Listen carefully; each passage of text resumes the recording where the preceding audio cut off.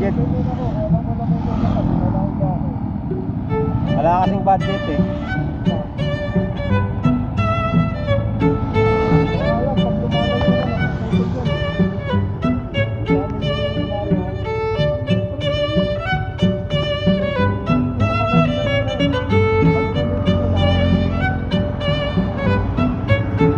Sige. Sige. Ano na kayo?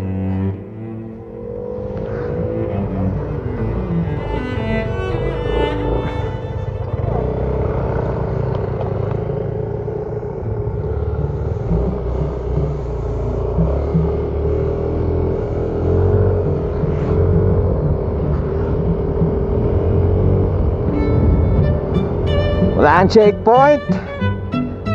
Sa Manokan. Mga paps. Naka po. Ah, saan na? Hindi yata makaka makakadaan ah.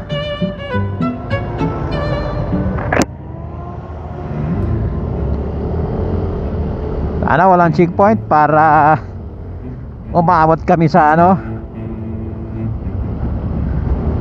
sa Sampalok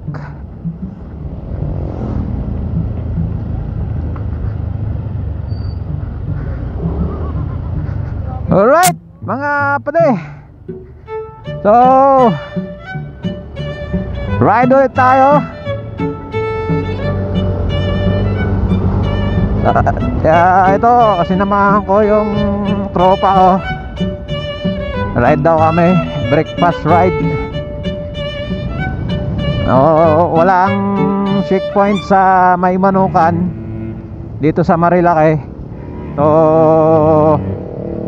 nakadiretso kami sa ano, nandito na kami kami sa may ano, Cafe Catarina. Pero hindi kami mag-stop over dito, diretso lang kami papuntang Sampaloc.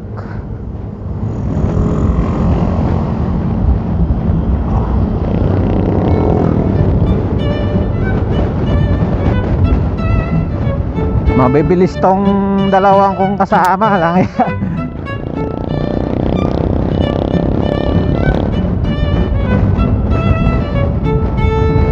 Mabilis to, mabilis. Hindi ako makahabol. Yung dalawang kasama yung ano, yung naka-hazard. So,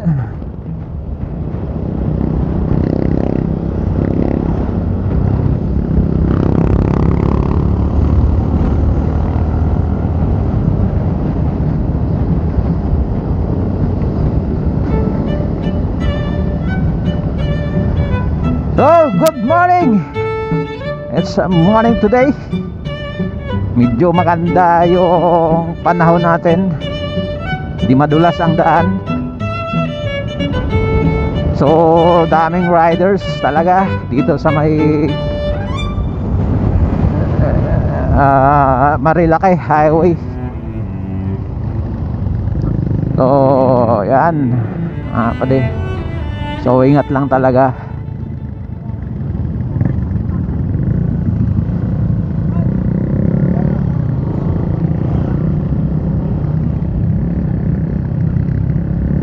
Ayaw na, inunahan na. Sumibat na yung dalawa.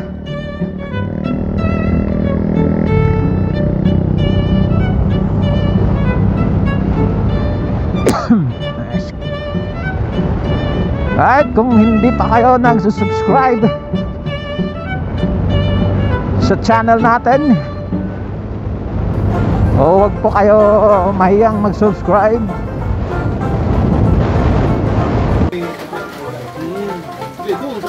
di ba? Oo.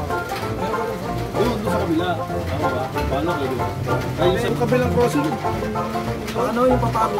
Oo, yung kabilang crossing. Doon na kami naghiwalay nung tropa ko. Kaya binaybay namin yung misis yan. Ang dilim dyan. Tapos baba kami ng ano. Bakit naman? Dito na kayo. Hmm.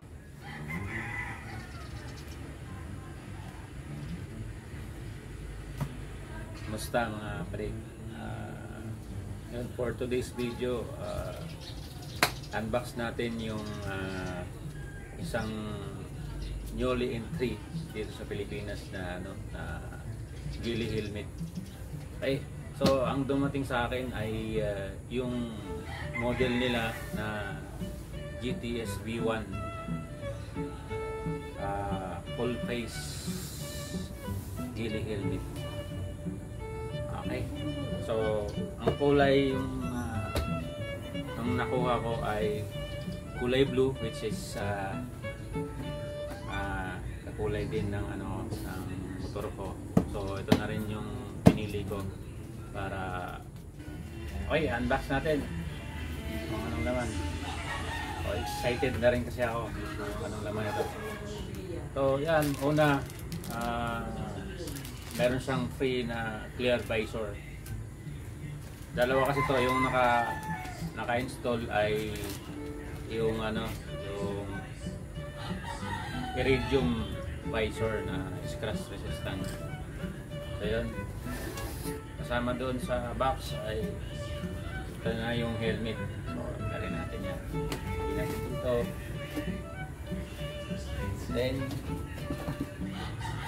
isa pa, meron ah, free na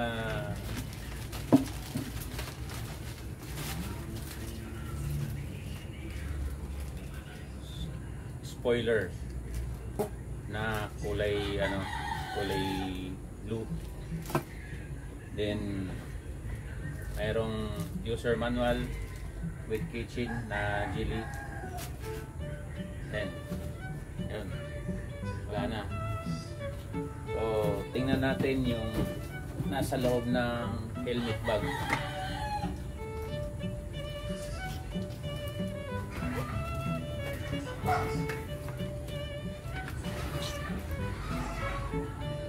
ayun mga padi oh. meron nang nakalagay na ah, rare spoiler na clear. Okay. Tapos nandito na rin yung iridium ah, visor niya. Nakalagay din. So tingnan natin. Bagong bago ano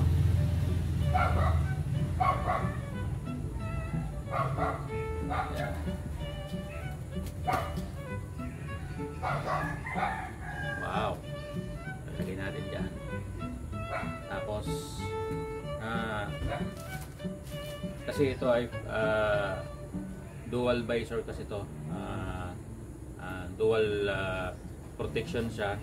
Kung ayaw nyong gamitin tong iridium visor niya, pwede nyo lagyan ng clear visor. Pero, pagka maaraw, pwede nyong gamitin yung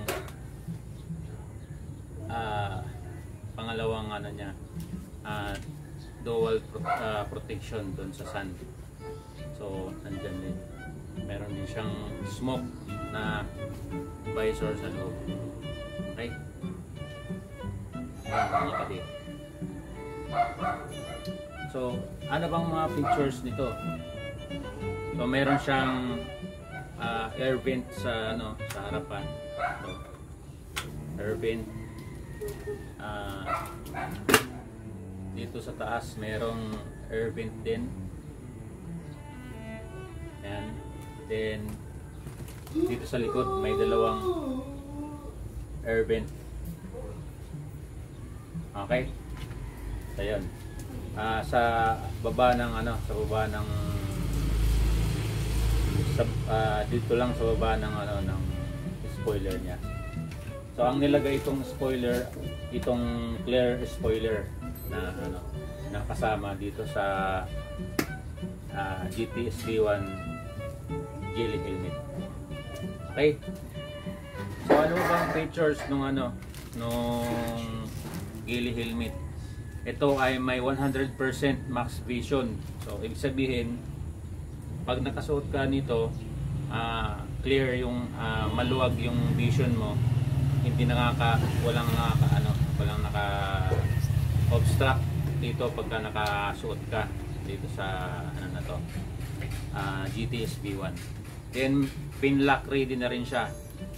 Ito. Kung nakikita nyo yan pin lock ready na siya.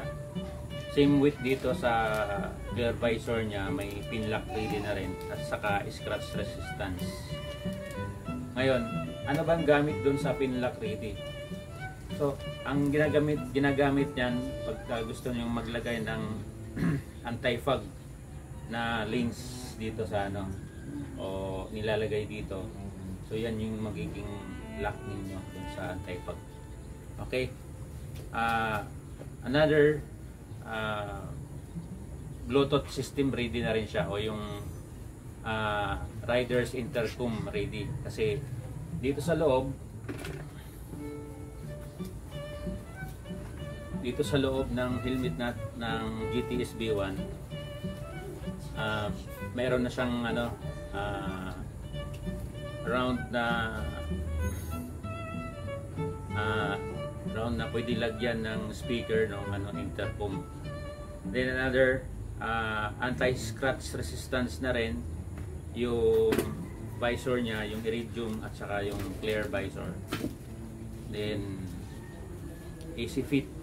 Ibig sabihin mayroong meron siyang ah, features nito pagka gumagamit kayo ng salamin nagsusot kami kayo ng eyeglass pag nagbibiyahe kayo ah ano na rin siya? Kasama na rin dito. Yan. Pwede siyang lagyan ng salamin. Yan. Then ang shell naman nito ay polycarbo ah ah, polycarbonate okay Ah, optical grid na shell so maganda. Then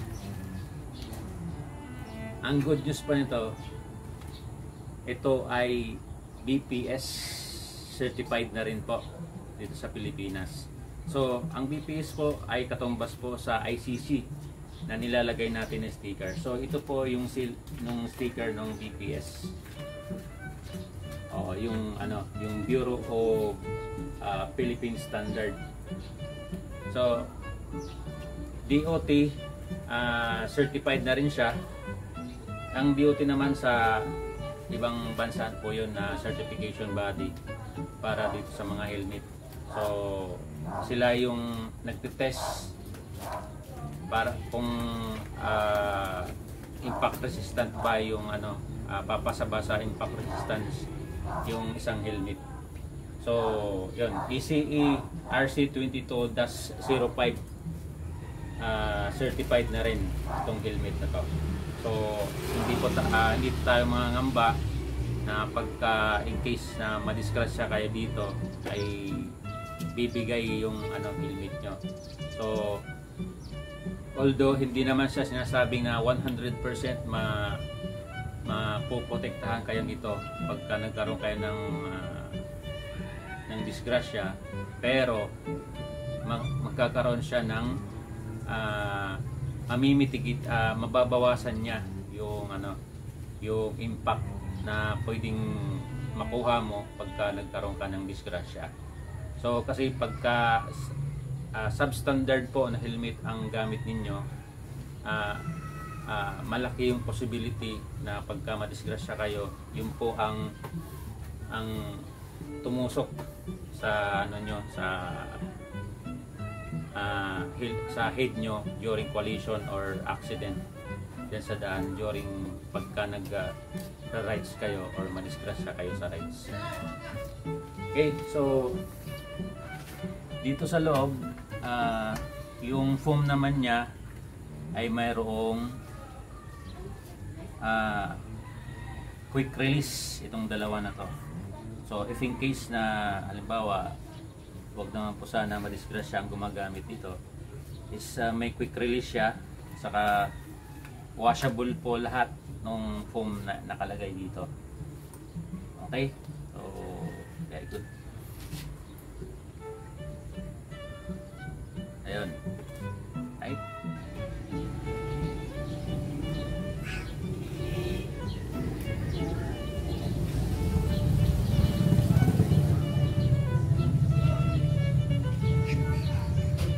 So, i-fit natin. Uh, as ang size kasi nito, ang size nito ay XL.